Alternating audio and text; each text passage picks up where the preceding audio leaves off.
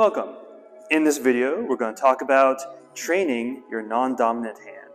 Mostly why. why we should do that as opposed to just like to do it. So obviously there's always good things about symmetry. So for example, if you ever do any uh, dual style things, uh, so for example, like, you know, if you use two nunchucks, for example, or two kamas, or anything like that, it's always good to practice both sides so that your uh, non-dominant hand is as good as your dominant hand. Again, the premise behind that is potentially like if you uh, damage your dominant hand, you can still do something with your non-dominant hand.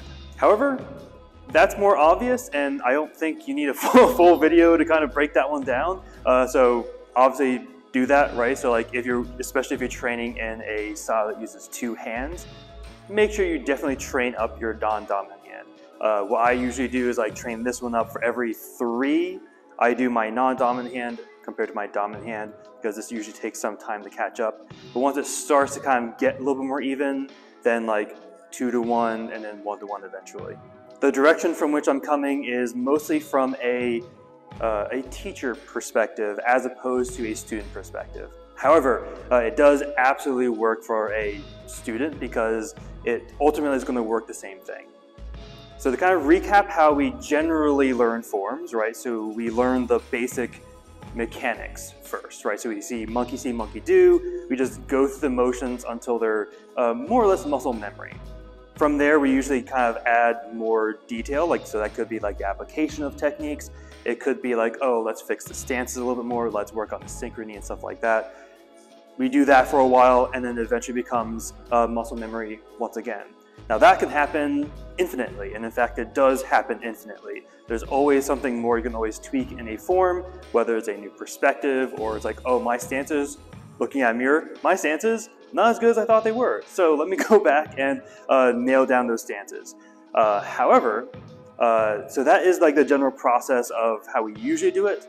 Something that I recommend is actually starting to train your, uh, your non-dominant side, and we'll kind of see what I'm talking about there. Long short of it is, especially if you've been doing a form or a set of forms for a very long time, uh, and especially if you're starting to like try to learn how to teach it again, training to do mirror image is an excellent way to go. So for example, and this is going to make me look very silly because uh, this is actually the one portion I have really been doing a lot. So let's take something that we take for granted as swordsmen, drawing the sword, right? That, that hopefully is a given, right? So it's like, okay, I've done this, I could, I think I can say thousands. I can, probably, maybe, we'll see, right? A, a lot of times, right? So like if I'm like just looking at you, you know, I have my, you know, generic stance, I have my thing at the ready, all I need to do is break the seal, grab, draw, and we're in defense. Same thing with our put away. We have a lot of different ways of putting the sword away, but very relatively smooth, like not very noisy. I got it, right? However, so especially with people uh, who are either new to teaching or they're teaching something relatively advanced, uh, or this, this is very, very new for you to be teaching, let's try doing it mirror image.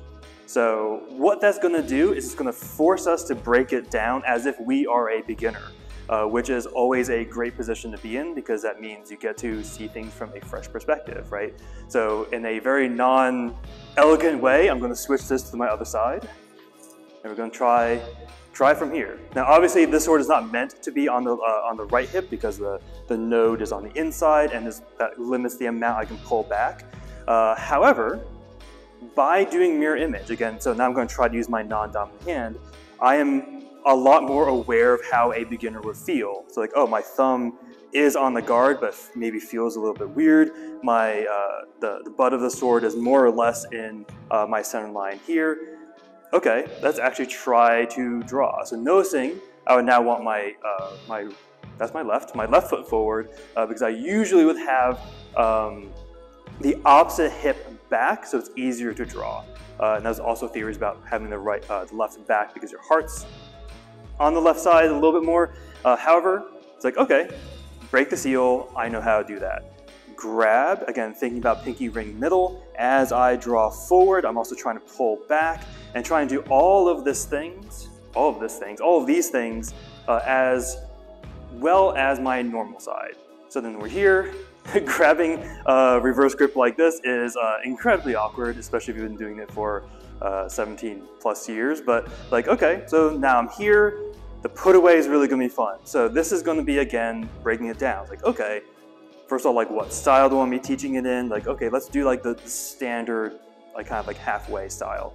So you can focus if you want to, grabbing the, the scabbard, again, noticing how you're grabbing it, right? Because your, your muscle memory on the other side is like, okay, middle finger kind of covering the mouth and you can do all that kind of stuff. Bringing it in, trying to use your left hand as much as you can, struggle a little bit for the camera, and we're back in, using the thumb to seal, coming back in, forgetting bring your other foot back as you do so. Right? So uh, this is a really, really good way for uh, someone who's been doing this for a very long time to break the, first of all, break the rhythm, which is always good, um, because that gives you opportunity to kind of like break and then grow back out from it. Um, but this is a really excellent way for you to, again, break things down. Now, obviously, that's excellent for basics, right? So especially, again, if you're teaching you know, new people, you kind of get back in that mindset. This is also very good for if you have forms or kata, doing it that way as well. So what I personally do, and this is what I've been doing for the past couple months, kind of get myself better at this, is so most of my forms are predominantly two-handed. Okay, uh, first level is to do it one-handed right? Now that's very, very weird for many forms, uh, but there are some styles that are that kind of you know lend themselves to it quite nicely. Uh, if you are coming to us from a Gumdo background, uh, the Yedo form is actually very, very good to start off with one hand. Um, so try that one-handed, and try to do it mirror imaged with your with your non-dominant hand. So for us, I'm just going to assume left is non-dominant because uh, all of at least for Gumdo at least, it's all right, uh, right on top kind of guard. I believe that's very similar for Iaido and other styles as well. Uh, so let's just take this as an example. I'm boring, I'm going to choose my favorite. So Yedo 3, right? So I'm going to try this four different ways. So one, standard, you know, most, for the most part two-handed, uh, then right hand, then left hand, and I haven't really done this much and we'll find out how it works on camera, but I'll do it full reversal. So left hand on top, right hand on bottom. But if we take a look, right? So I'm not gonna do the whole thing because that'll get me in trouble. Uh, but starting off with just the very, very beginning, we're gonna draw behind us, Ea, and all that fun stuff. Block, cross, down, staying allegedly nice and low, hook, up, cut. Okay, not too crazy, right? So the, the easy next step is one-handed. Most of that is very intuitive right-handed, right? So it's like, okay, draw, low. You can keep your hand on the scabbard if you want to use this as like a counterbalance of some sort, you can. Um, I like to have it up here just because we can have our block, our cut, our cut, back, sweep, up, cut. Not too bad. So I could actually draw it from the left-hand side. That's going to be, oh no, I've done this in a weird order. So now I actually need to practice uh, our left hand put away. Isn't that fun? So from here, we're gonna try to cut behind us and back.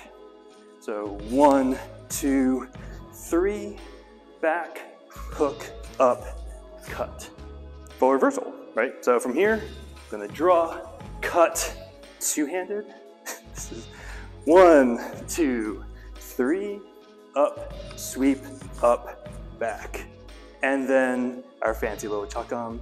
Again, always good to practice all of the, all the intricacies there. So that's our example. But that's the idea, right? So you can do this with any form, just some forms are gonna be incredibly awkward. So again, I recommend this especially for people who are getting ready to teach it. It is also an excellent way for, especially if you're like, I'll say like maybe halfway or three quarters of the way uh, through like a testing cycle, for example. This is an excellent way for you to, again, break it down, really make sure you understand the form as well as you do. Uh, because if you don't understand the form, it's gonna show. it's gonna show pretty hard. Uh, so this is an excellent way for you to, again, almost like relearn the form, make sure you understand everything that's going on because now you have to kind of explain to yourself what's going on. But with that, Make sure you stay safe, stay humble, and keep training.